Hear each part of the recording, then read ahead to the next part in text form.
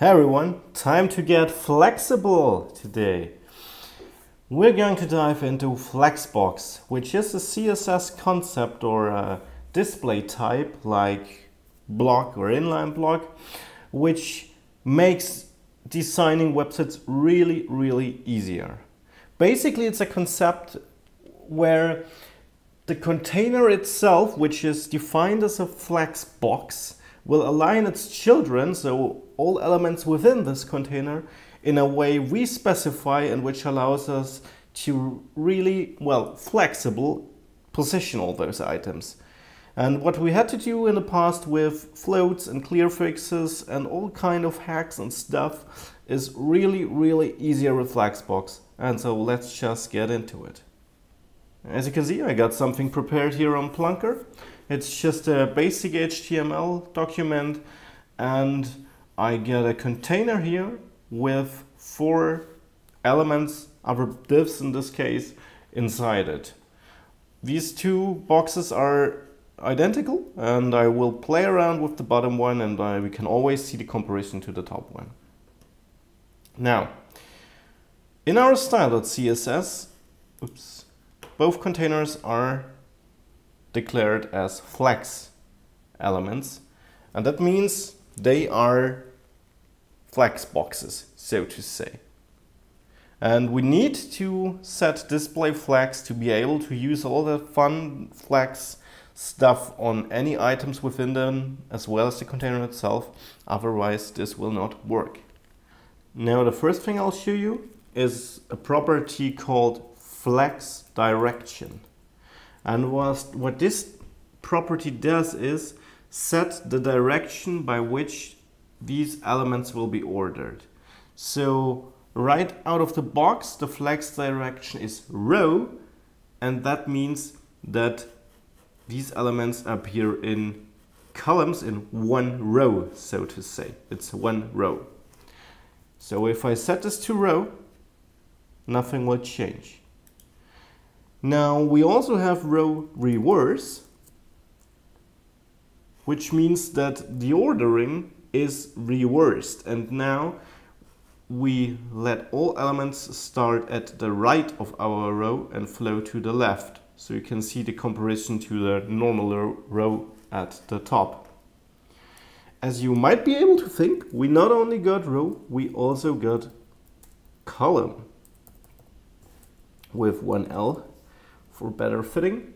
And as you can see, column will change it in that way that we only have one column and all elements will be stacked in rows within that column. And as you might have already guessed, we also got row uh, column reverse, which is basically the same as row reverse just in the column.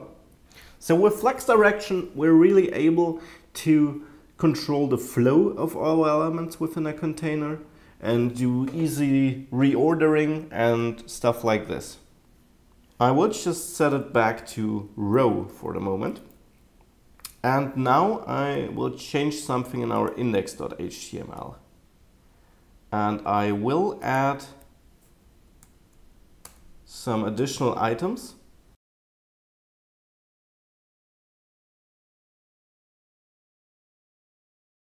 Okay, so I now added some items and as you can see, now the whole container is filled. And we still have one row, right?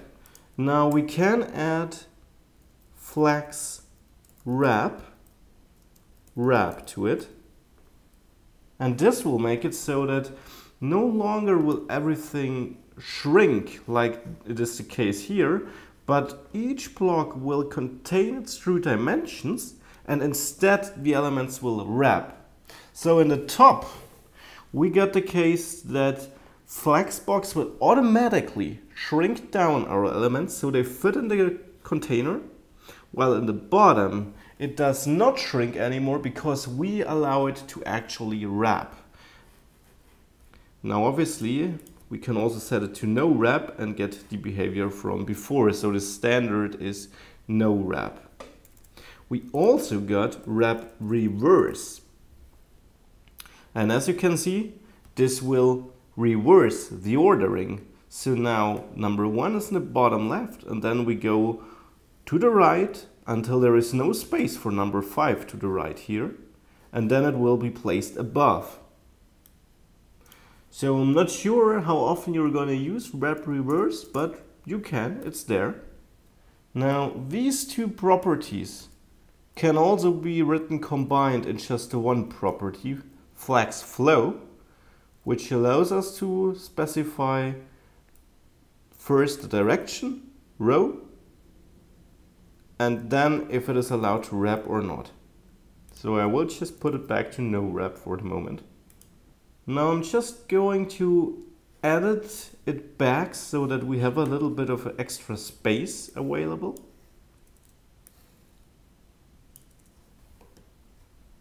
Just like that. And now what if we want the content not to be stacked to the left, but to stretch out over the whole area? That's no problem with Flexbox. We can just add justify content to it and then we got several options here. The default is flex start. That's why nothing changed. We can change it to flex end, which will push it up to the right to the end of the container. But we also get the possibility to set it to center. Now we got equal margins to the left and right.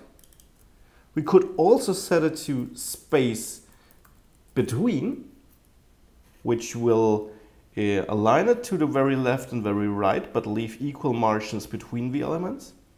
And we also, and this is the last possible value, have space around. Now this makes it that the first and last element aren't exactly aligned to the left and right, but instead that everything is nicely spaced out. So this is a really cool feature and I see that being used very often in the future because with Justify content you're really able to create cool layouts, flexible layouts, nice navigation bars and don't have to use all those floats and stuff which might uh, more than often mess up anything in your layout. So that is a really cool feature.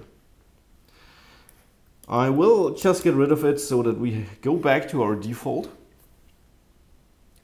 and um, let me show you another cool feature, which is align items.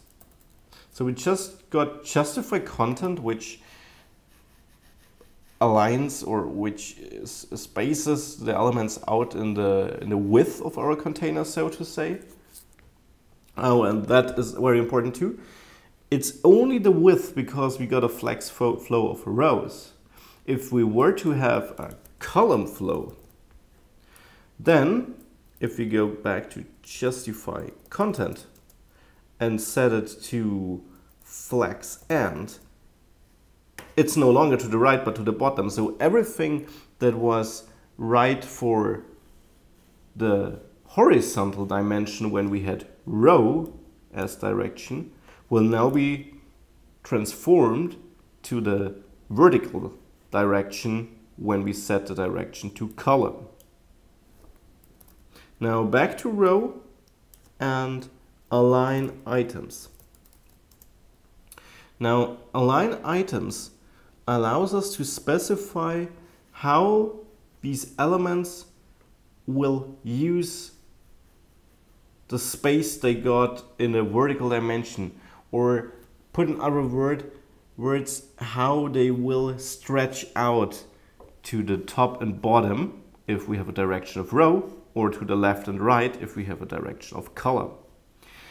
So by default, we have a value of stretch, which means stretch out, fill all the space you got.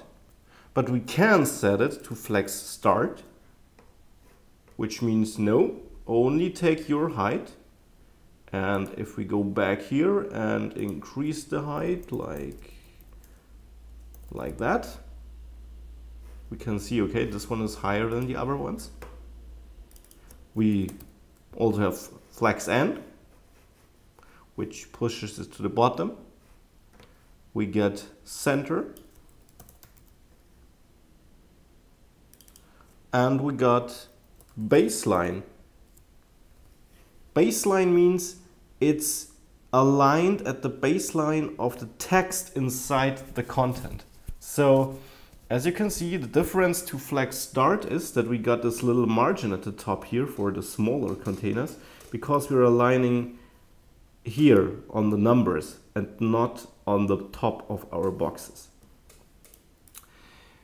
Now, with justify content and align items, as well as the two flex directions, row and column, we got a lot of possibilities to align and justify items and to really play around. And that is what makes Flexbox really cool and yeah, what the name says, flexible. Now I just added two new boxes, 5 and 6, set the wrapping back to allow wrapping and also set align items to stretch so that in this case the height of all items takes all the available space. Now I did this to show you another property named align content. Align content works the following way. We can also set flex start here. And that means all items should be pushed up to the top. And as you can see, stretch does not work anymore because this kind of overrides it and tells the item items how they should align, in this case vertically, because always remember we got a direction of row. If we change it to column, got the same picture horizontally.